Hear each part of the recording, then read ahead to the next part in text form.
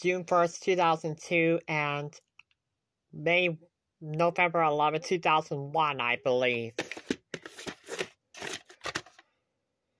And the fifth week of 1997. So this is a, a recycled, recycled cassette, even though this is still a 2002 VHS. So just want to give you information.